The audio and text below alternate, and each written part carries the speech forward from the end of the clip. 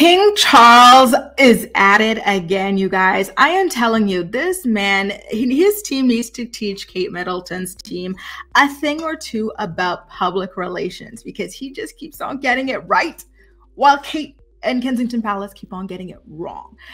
Okay, so just over this past weekend, there was a major, major, major, major rumor spreading on Twitter. It even trended for a little bit, claiming that King Charles had passed away.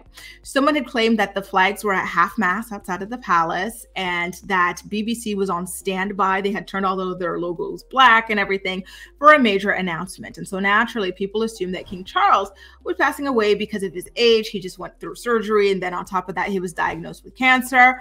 But he and his team just went at, at, at, at, and released complete, clear images of him and I want to show you because let's compare and contrast this to the crap we've been seeing about Kate Middleton while they're trying to confirm proof of life, right?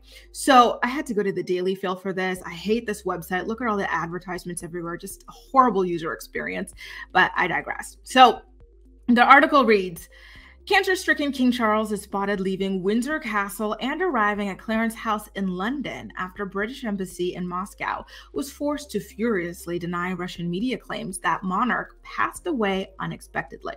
So we don't need to read all of this. Let's just get into the photo. Look at that. It's in the car, just like the photos of Kate in the car were, except this time it's a clear and verifiable photo. This, quite obviously, is King Charles. Okay, you zoom in, you don't even have to zoom in, but let me just zoom in for good measure. And you can clearly see every wrinkle, every detail that this is King Charles in a car.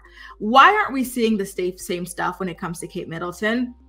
You know, it's slightly grainy and stuff, but it doesn't look like it's purposely made grainy the way that Kate Middleton's images have been made grainy. Take a look at this one that of a woman purported to be Kate Middleton. She's wearing these giant sunglasses, a synthetic wig, and um, you know, it's grainy. F- photo experts had claimed that the grain in this image was actually added in post-production you know and even with that fake grain we can see that kate is missing her signature mole so it makes you wonder why are they adding grain in post-production why is this a backgrid image why was this only released to us gossip blogs but nothing in the uk how come every time we see king charles it's via the uk but every time we allegedly see kate middleton it's via tmz or page six very strange, right? Why is Kate Middleton's team pandering to the US?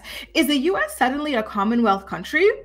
Very weird. Even that video of uh, a purported Kate Middleton uh, strolling through that farmer shop, well, outside of that farmer shop, was released to TMZ and not to the British press. Very suspicious. And again, it was gr- grainy and super far, and the person taking it was posted up in a car. And uh, interestingly enough, in that video, the alleged William and Kate knew to look exactly into that car. Hmm. Interesting. So anyway, here's a photo of Charles. This one's a little bit more blurry, but still you can very clearly see that that is him, though I prefer this other initial image, you know, that's very, very close up of him. Yes, it's his side, um, but you still see like the majority of his face, three quarters of his face. It's not the back of his head. He's not observing bricks, counting them one by one, the way the alleged Kate was in the other video. Um, it's not him covered up in sunglasses and a synthetic wig like the first Kate Middleton was. Um, and it's certainly not him speed walking it through um, a, a shopping experience like that third video that we saw as well. Listen, and on top of that, the man has already released a video of him reading all of the cards of well wishes that were sent by his public as well. You know, he has been doing everything about his illness and recovery on a public basis, right? Absolutely 100% correctly, while Kate's team has been dropping the ball at every turn. It makes you wonder why is this man who's about twice Kate's age able to be seen on a regular basis? Why is he so active and mobile while Kate doesn't seem to be? You know, why isn't he hacking, um, you know, and Frankensteining Instagram fake images while Kate's team has to resort to that. You know, why are we getting crystal clear photos of him while Kate's team is unable to provide that? Why is he actually, you know, providing content to the people who matter um, to him as the King of England, aka the English British press, whereas Kate's team is working with Backgrid to provide things to the American press?